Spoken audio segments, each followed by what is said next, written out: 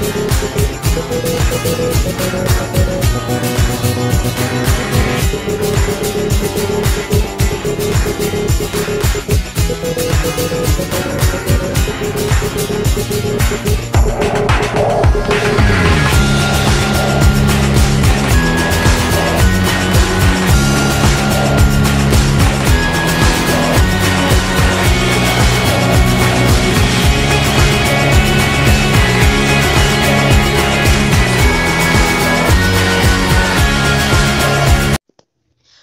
More interesting updates, please like, share, and subscribe GBN News.